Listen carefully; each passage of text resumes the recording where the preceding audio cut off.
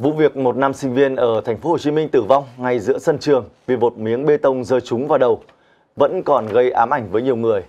Mới đây nhất, lan can tại một trường tiểu học ở Bắc Ninh bị sập khiến nhiều em học sinh bị thương tích, tiếp tục dấy lên những lo ngại về an toàn trong trường học. Một ngày sau khi xảy ra sự việc, người dân vẫn chưa hết bàng hoàng và nhiều phụ huynh cho biết cơ sở vật chất của trường học đã xuống cấp trầm trọng và họ đã nhiều lần kiến nghị. Tuy nhiên, mọi thứ vẫn không được cải thiện và hậu quả là tính mạng của học sinh đang bị đe dọa. Trường học thường được hình dung là nơi an toàn và bình yên đối với học sinh. À, tuy nhiên thì có một thực tế dữ dội hơn nhiều khi mà trong vòng một năm qua đã có ít nhất là khoảng hơn 10 vụ tai nạn học đường xảy ra ngay trong trường học. Mà mới đây nhất là ngày hôm qua à, tại trường à, tiểu học Văn Môn của huyện Yên Phong, tỉnh Bắc Ninh đã xảy ra một vụ sập lan can trường khiến cho 13 học sinh đã phải nhập viện. Và sự thể như thế nào, chúng tôi sẽ tìm hiểu ngay sau đây. Em mới bảo ông bảo, bảo vệ cho mở cổng anh đưa thợ vào làm này. Ừ, thôi, thôi, thôi. Cháu vào cái. Cháu, cháu, cháu. Phải mất một lúc lâu, nhóm phóng viên của VTC14 mới có thể tiếp cận được nơi xảy ra tai nạn.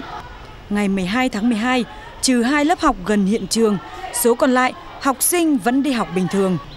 Nhà trường đã khẩn cấp lắp ngay lan can bằng thép tạm thời để ngăn sự cố tương tự có thể xảy ra. Phóng viên đã cố gắng liên lạc với ban giám hiệu của nhà trường cũng như lãnh đạo Sở Giáo dục và Đào tạo tỉnh Bắc Ninh. Tuy nhiên, không nhận được sự hợp tác mà thay vào đó là câu trả lời của lãnh đạo Ủy ban nhân dân xã Văn Môn.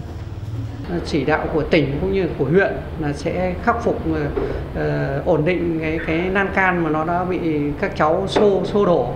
Đấy thì trong ngày mai đa số chỉ đạo trong ngày nay là phải xong nhưng mà sau đó gia cố nó kỹ càng hơn và kiểm tra toàn bộ những ờ, cái cơ sở xung quanh cái trường đấy xem còn chỗ nào nó nó xuống cấp thì cho sửa chữa tiếp. Bằng mắt thường, có thể thấy trường tiểu học Văn Môn đã xuống cấp, nhiều dãy lan can, cầu thang đã bị bong chóc, hư hỏng nặng. Theo người dân, hễ mưa là nước ngập đến đầu gối, học sinh phải lội nước ra vào trường.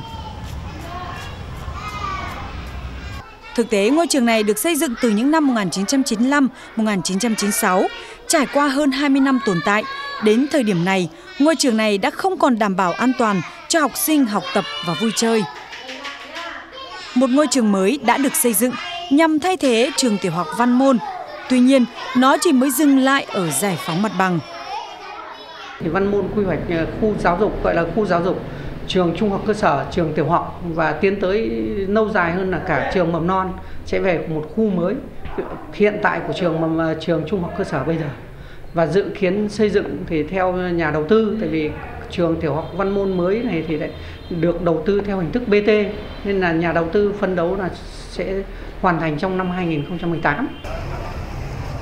Trong 8 học sinh được chuyển lên bệnh viện Việt Đức Hà Nội thì có 3 em bị thương nhẹ sau khi thăm khám được chuyển về bệnh viện đa khoa tỉnh điều trị.